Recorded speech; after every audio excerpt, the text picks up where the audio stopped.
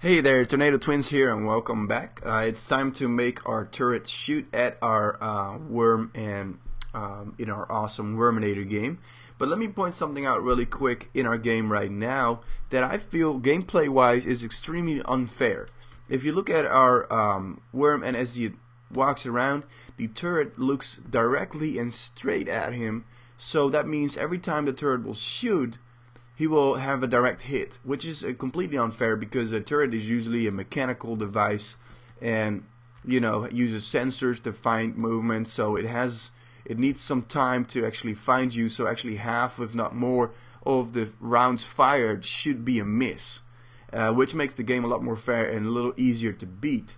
So to do that let's go back into our script and look at the head of our turret and as you can see in the script it's very simple. Every update function which is called every time the engine renders a frame which could, could be around 100 times a second it directly sets the look at uh, rotation to look at our target. So it will always be a hit. Very unfair. So to solve that what I'm going to introduce here is rotation damping. And what that means is the rotation um, is going to be a bit slower so that way you have, if you run really fast, the turrets will miss, but as soon as you stop and not move around much, you become a sitting duck at target, so every shot will be a hit. But we may need to make our turret actually rotate slower in order to do that. So, um, but before we add the rotation, let's let it, let's add a little if statement and make if look at target. Okay, so if this variable is not set, the look at target is not true, then we're not going to rotate our turret because it's only going to give us some errors. So it's just a little safety net to make sure the target is set. Next, let's make a variable and call it variable rotate. Um, and now I'm going to introduce something that has to do with a lot of more of deeper math. But don't worry about it, the math is done by the engine, not by us. The only thing we need to do is use the right functions. So type with a capital Q, type quaternion. And uh, this is actually um, deeper math invented in 1800 or something, uh, which looks at points in 3D space.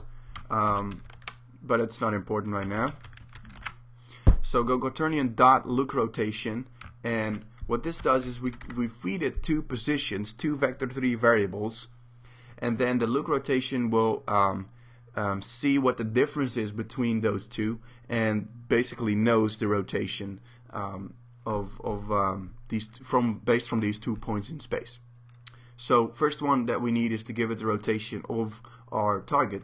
So look at target dot position which returns our vector3 variable as explained in the previous videos, minus our transform dot position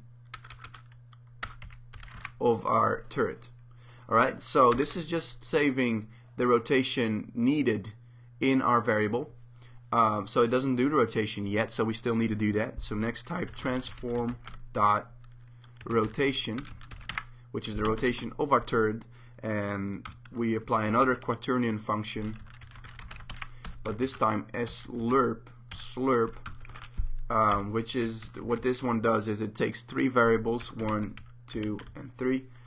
And uh, the first one is our current rotation. Transform dot rotation. The second one is the rotation that we just saved here, our rotate variable, so the difference between two points in space. And uh, basically the slerp function looks at our current rotation, the rotation that is needed, and then it's going to rotate it over the time that we specify. So we want that to dampen a little bit, we want that to be slower. So, sorry, excuse me. Let's type time dot delta time and make sure that delta time, the T is with a capital, multiplied by a damping variable, damp, that we still need to make up top here, damp. Um, and let me explain, really quick what time dot delta time is. Is is basically the difference, the time that has passed since the engine has rendered one frame and to the next one. So since some fast computers can draw up to 100 frames a second, this number would be very, very, very, very small, microscopically small and then multiplied by our damping variable um, which is uh, basically a made-up number. I don't know exactly how fast it will be, um, but let's set it to 6.0. Um, save it, and let's see what it does right now. It's only applied to this turret right here, so the second one will have our changes. Actually, that's not right. The script is attached to both. And I have a couple script errors here. Um, okay, this is not spelled right. This needs to be transform. Sorry about that. Let's save it. And no more errors. Let's play this again. Okay, the rotation is still pretty fast. Let's make that number, that damp number, a lot smaller. How about 1? And as you can see, this one, the second one, has a lot slower of a rotation than the other one. This looks very turret-like, very cool. I like this maybe just a tad smaller, 0.5. And let me add that to that second turret as well, 0.5. Let's run this game. And now that's awesome. Right? You can imagine that if you have an entire set of, uh, oh, this one is very slow. There's one of them. It's really slow. Did I do this right? Let's just set it to one. If you set a full corridor or hallway of turrets and you run right through that all miss, that make for a very fun game. Okay, this looks a lot better. Awesome. Alright, next let's make our turret shoot. Now shooting should not be that complicated by now because we've already done that for our main character. If I focus on the worm real quick, remember we added a spawn point right in front of the character. So uh, we can do that again for the turret. We'll use a spawn point to shoot from. Let me just uh, delete one of these turrets just so that I don't get confused about which one I'm working on. Um, and next, um, let's add an empty game object. Just go game object, create empty. Um, let's call this one spawn point also. And move that as a part of the top part of our turret. Now, as soon as you do that, it will say, hey, you're going to lose the prefab connection. That's fine. We'll make a prefab later out of this.